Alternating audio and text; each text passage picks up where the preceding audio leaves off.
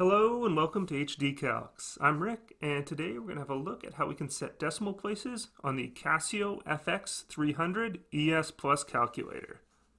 To do this we'll need to use the Shift key that looks like this, located here in the top left, as well as the Mode Setup key that looks like this, located here.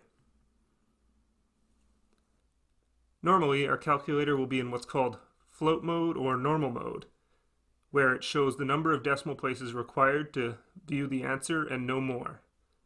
So for example, if we do 1 divided by 8,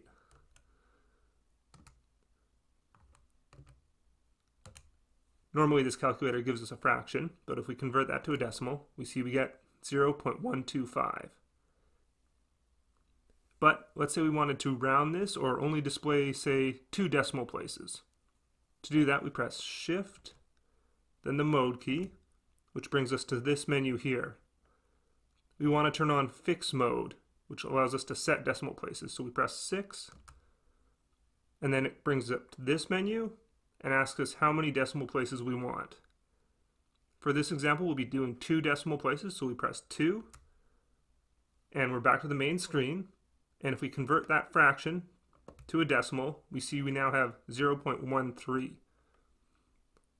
That's because the 0.125 has been rounded to two decimal places, and that 2 has been rounded up to a 3 because of the 5 here.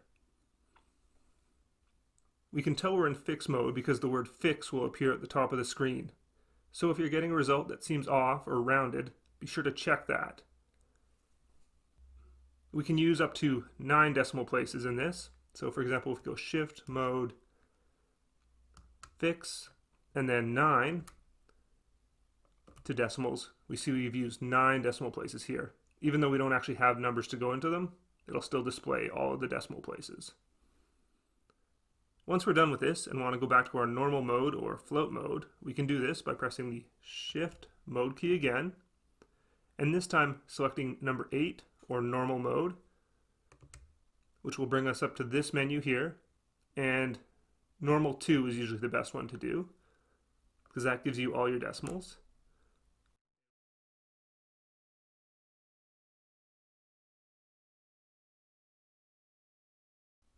and we're back to normal mode and the fix at the top of the screen is no longer there.